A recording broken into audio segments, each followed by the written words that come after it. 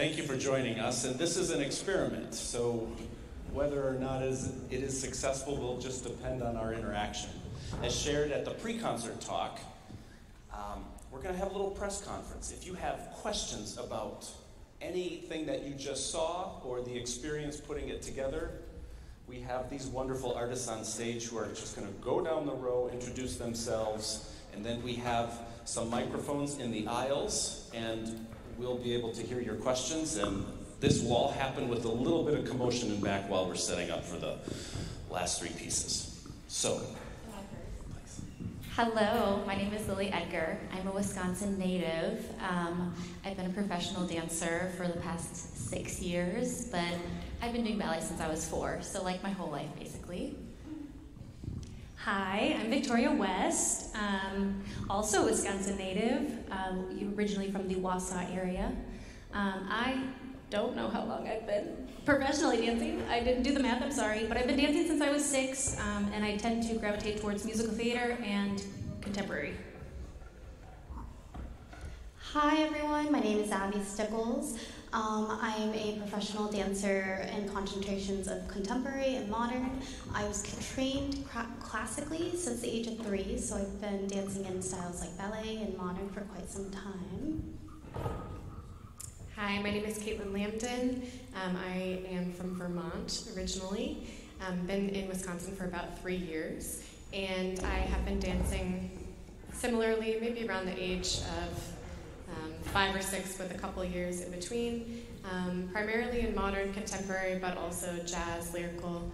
I like to do some heels every once in a while, some hip hop, some ballet. So I like to get it all in. Hi, my name is Abby Frank Taylor. Um, I grew up dancing here in Madison. I went away to Minneapolis for about 10 years um, and just moved back about two years ago. Um, I have been professionally dancing for about 10 years with mostly focus in uh, modern and contemporary dance. Hi, I'm Miye. I am originally from Japan and I've been professionally dancing for the last 10 years, uh, mostly in modern ballet.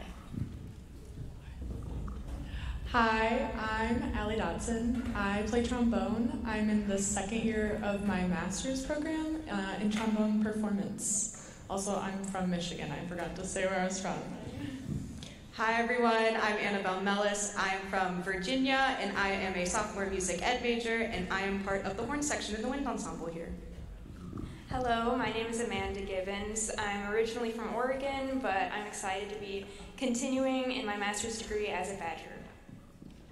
Hello, everyone. I'm Carolyn Miller. I'm a clarinetist here. Um, I'm from Michigan, and on a side note, I was classically trained in ballet for a good chunk of my life, so this is a cool, cool collaboration.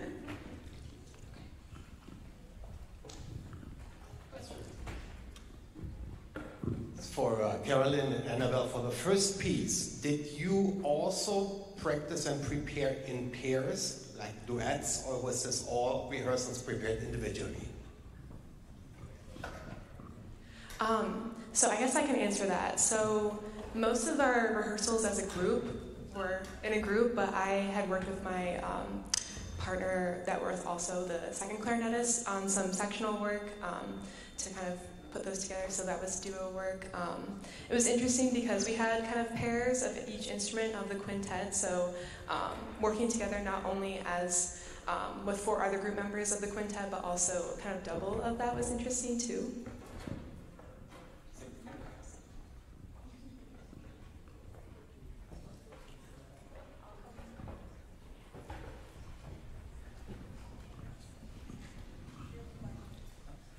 So I guess this is more for the dancers, but um, what were the sort of like motions that you guys were sort of like doing? And I guess you could go in line and just explain like what you did and like why you did it.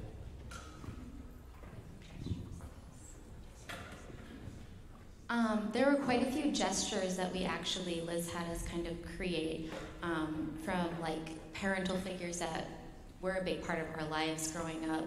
Um, and so we each kind of had our own time in the studio to kind of figure out what story of our life we were going to put into these gestures. Um, so one of mine was like looking, because my mom used to look through binoculars at the birds out the window. So I always remembered that. So I was thinking of my mom for that one.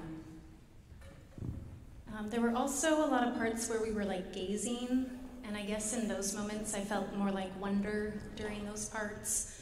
Um, but with the whole healing thing, we also had moments where maybe we were a little bit more vulnerable.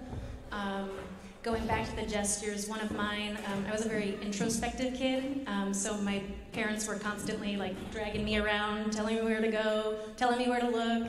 Um, so I included that in mine. I think for me, I didn't start to become emotional around the work until we approached um, rehearsals with the instrumentalists.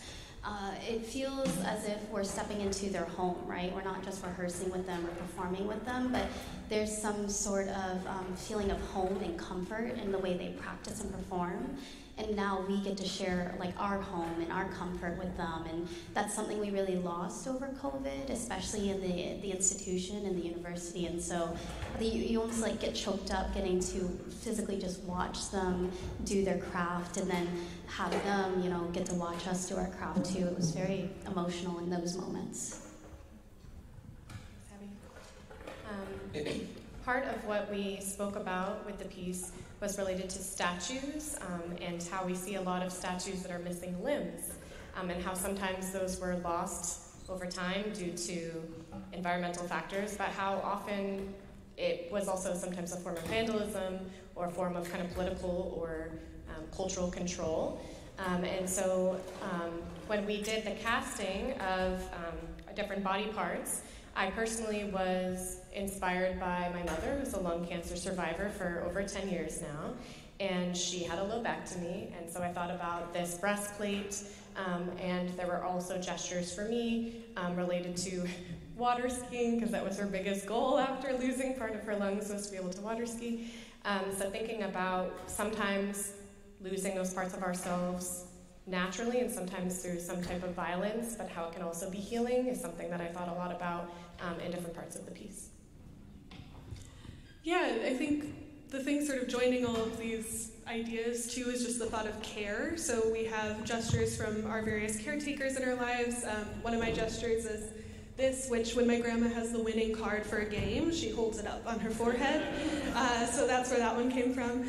Uh, but they're from different caretakers in our life. The gauze is from different uh, injuries we've each had or our family members have had. Um, and then we have interactions with each other where we're tending to those injuries that are hopefully now healed um, or healing. Uh, so there's just a lot of theme of care uh, through the piece. They took all of mine, so I will just leave it at that. um, but yeah, I connected a lot with like the care for each other, like in the piece. Um, just even even though it's not such a you know super emotive piece, but just like recognizing each other, touching each other, um, putting the cast on. Um, that was like a very like intimate and vulnerable and caring part that I really liked. The time signatures seemed to change a lot throughout, and was not exactly typical waltz or three-quarter time kind of stuff.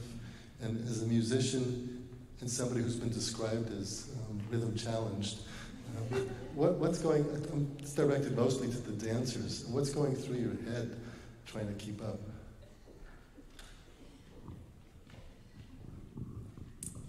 Sometimes I have to turn that off when I'm when I'm performing, or else I will miss that next beat, or I'll miss being present in the moment. So quite literally, some days nothing, and that's freeing in the movement, right? But there's also the, sometimes these unspoken rules within our practice of dances. you defer to the person in front of you or the person who everybody else can see within the space.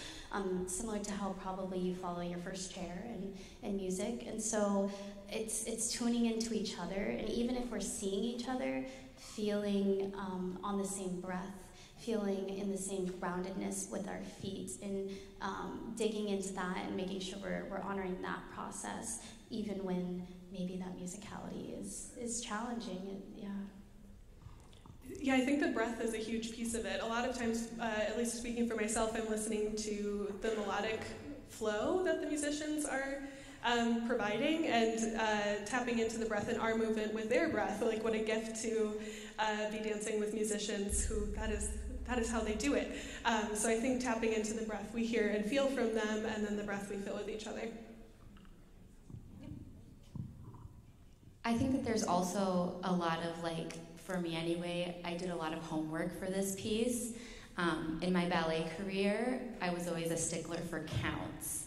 So I was like, I need the counts, you know, to always be in my head. But with this, like they've said, there's a lot of, you know, with the breath and like watching the person out of your peripheral vision and being with the ensemble in the group, which was a challenge for me. Um, and so, aside from learning that and trying to grow that in myself, I definitely also would listen to the music a lot and, and go over it and try to maybe for myself even just find counts where I could, where it made sense for me.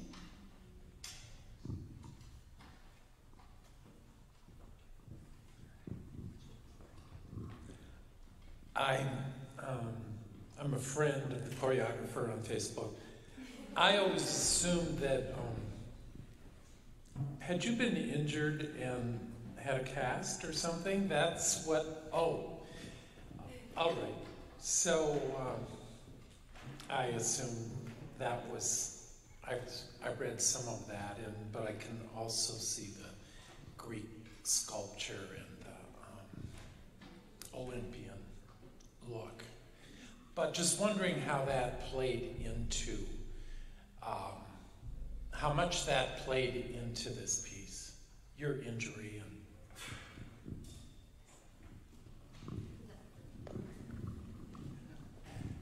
Yeah, um, my injury wasn't necessarily a casted one, but like a deeper kind of rip. Um, but yeah, I think like I just was really interested in the Olympics. I was interested in like healing. I mean, in this time where it's kind of like tragic, um, trying to find the care, maybe not the comedy.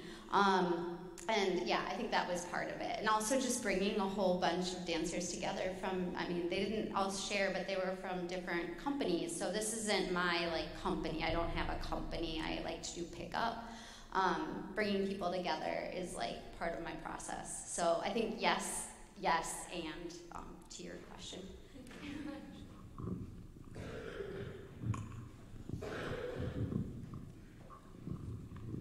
I wanted to ask the musicians what was it like to to do this collaboration? I think this is um, well, I don't think we do this very often, if ever. So, what was it like for you as musicians to work with the dancers in this way?